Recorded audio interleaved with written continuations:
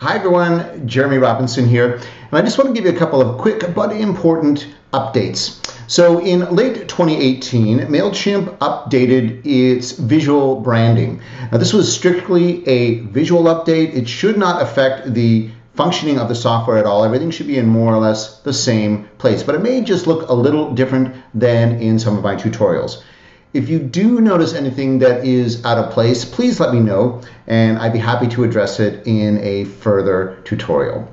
Uh, secondly, uh, MailChimp did change one of its key terms in 2019. Instead of using the term lists, MailChimp is now using the term audiences. However, these are entirely interchangeable. So when you see the term lists in my tutorials, uh, you can substitute the word audiences. But again, those should function entirely the same way. Thirdly, for those of you who use Shopify, in the connecting your store to MailChimp tutorial, I show you the MailChimp for Shopify app. That app has gone away. MailChimp and Shopify had a bit of a breakup, but there is a substitute app, a workaround that has all the same features.